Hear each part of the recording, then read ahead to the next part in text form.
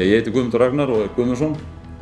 Eh, Ég á og rek fyrirtæki Prentmed á samt eiginkonu minni, Ingi Björgur Steinun Ingjaldsdóttir. Við stofnum fyrirtæki voru 1992. Eh, Við sagt, höfum verið saman í reksturinnum alla tíð. Ég er, er frangværtastjóri og Inga Steina er frangværtastjóri markas- og mannöðsmála og starfandi stjórnaformaður fyrirtækisins.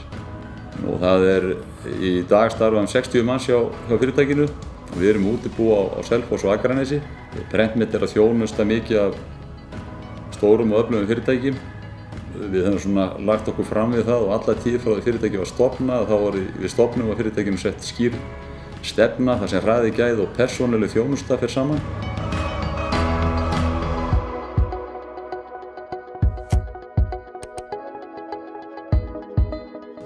Þegar ég fyrir á Bifröst hösti 1988 þá var ég nýbúinn að ljúka námi í prentiðin og sækja um sem sagt í rekstrafræði á Bifröst.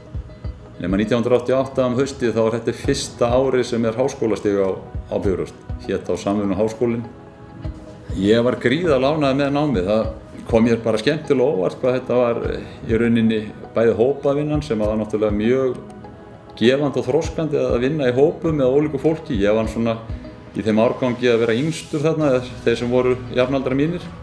Ég var þá 21 árs þegar ég byrjaði námið þarna 1988 en meðalaldurinn var að með mínir um 32 ár. Þannig þarna voru að vinna með mikið fólki sem hefði mikla reynslu. Námið var mjög praktíst og, og, og hefur nýst mér mjög vel í því sem ég tók mig fyrir hendur þegar ég stofnaði fyrirtæki við mjög erfiðar aðstæðan 1992 þegar menn hefðu nokkið mikla trú á því sem við hjónin ætluðum að gera. En, en námið hefur nýst okkur báðum alveg gríðarlega vel. Þetta er mjög praktískt nám e, að öllu leiti.